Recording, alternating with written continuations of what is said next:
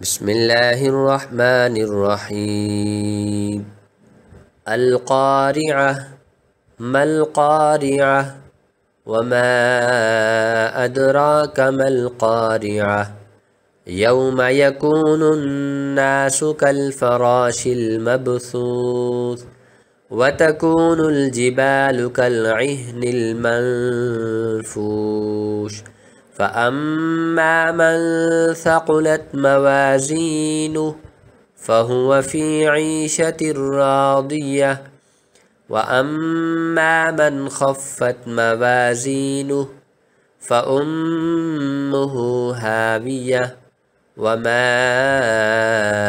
أدراك ما هي نار حامية शुरू अल्लाह का नाम लेकर जो बड़ा मेहरबान, निहायत रहम वाला है। खड़खड़ाने वाली खड़खड़ाने वाली क्या है? और तुम क्या जानो कि खड़खड़ाने वाली क्या है? वो कयामत है जिस दिन लोग ऐसे होंगे जैसे बिखरे हुए परवाने और पहाड़ ऐसे हो जाएँगे जैसे धुनकी हुई रंग बरंगी ऊन। अब जिसके अमाल के वज़न भारी निकलेंगे, वो दिल पसंद ऐश में होगा और जिसके वज़न हल्के निकलेंगे, उसका ठिकाना हाविया है। और तुम क्या समझे कि हाविया क्या चीज है वो दहकती हुई आग है In the name of Allah, the entirely merciful, the especially merciful.